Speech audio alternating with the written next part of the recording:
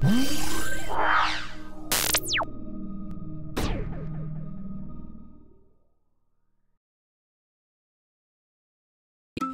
عليكم. خوتي خواتاتي غنقدم لكم مجموعة من النصائح الخاصة بالناس المصابين بوباء كورونا المستجد. اللي ما عندهمش أعراض واللي غيتبعوا علاجهم في ديورهم اولا الالتزام بشروط الحجر المنزلي. أي مصاب ما خصوش يخرج من الدار نهائيا باش ما يكونش سبب في العدوى للناس وخاصو يعزل راسو ما أمكن على الأسرة ديالو في غرفة خاصة لحماية عائلته. ثانيا يتبع البروتوكول العلاجي اللي تعطاه. ثالثا يستعمل مستلزمات خاصة به بوحدو.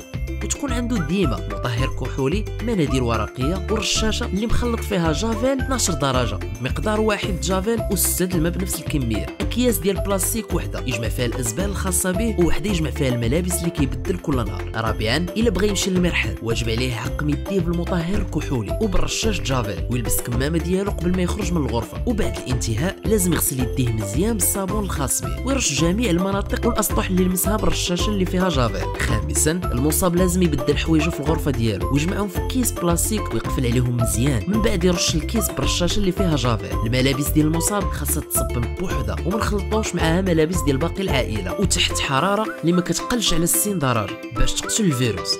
سادسا الماكلة ديال المصاب خاصها تكون مغذية ومتنوعة باش تساعد الجسم على مقاومة الفيروس وتعطاه في أواني خاصة به بوحدو. ومن بعد ما يكمل الأكل لازم عليه يرشها كاملة بجافيل قبل ما تخرج من الغرفة ديالو والتنظيف ديالها يكون بوحدو بالصابون وجافيل. سابعا على المصاب تفادي البصق في الأرض ويستعمل المنديل الورقي إلى عطس أو كح أو بصق ولا بغى ينظف نيفو ويجمعه في كيس بلاستيكي ويرشو بجافيل. ونذكروا باللي تهوية الغرفة الخاصة بالمصاب مرة مرة وتنظيفها مسألة ضرورية. ضرورية ثامنا ممنوع زيارة المصاب أو الأسرة ديالو خلال فترة الحجر المنزلي. وحتى علاقة المصاب مع الناس اللي عايشين معاه خاصو يكون في حدودو نساندوه ولكن نحافظوا ما أمكن على العزل ديالو. باش ما يعاديش الناس العزاز عليه بالنسبة للأشخاص الموجودين بالمنزل ديال المصاب خصو يديهم باستمرار ويتكلف به واحد فيهم وما يقيسش كل مخلفات المصاب إلا باستعمال القفازات المنزلية. أي les gants ديال الكوزينة. واللي خاص يغسلها بعد كل ملامسة بالصابون جيدا قبل ما يزولها من يدين. وبطبيعة الحال ديما دير الكمام. ولازم أخيرا